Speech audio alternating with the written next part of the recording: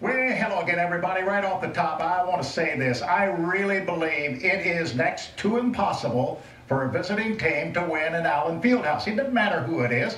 You will never, ever convince me the Jayhawks were the better basketball team today. They were not. Go look at the first 32 minutes of the tape.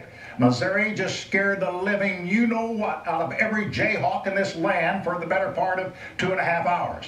KU won this game because of its raucous atmosphere. That building was easily worth 10 points, probably more like 19 today.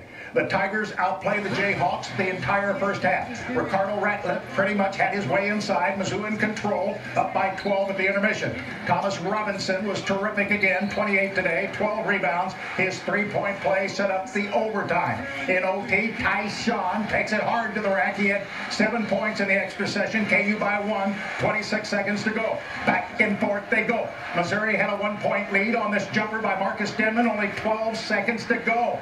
Taylor then made two free shots to put KU up by one. Still, Missouri a chance to win. Tigers couldn't beat the clock. Layden getting the ball to Denmon, and he failed to get it off in time. It did go in. Does not count. Look at Bill Self. You don't think he was happy about this? KU carried the whole world on its shoulder, the Big 12. If they had lost this game! KU shot 33 free throws, Mizzou only 18. Give it up to the Jayhawks, who have clinched a tie for their eighth consecutive Big 12 championship.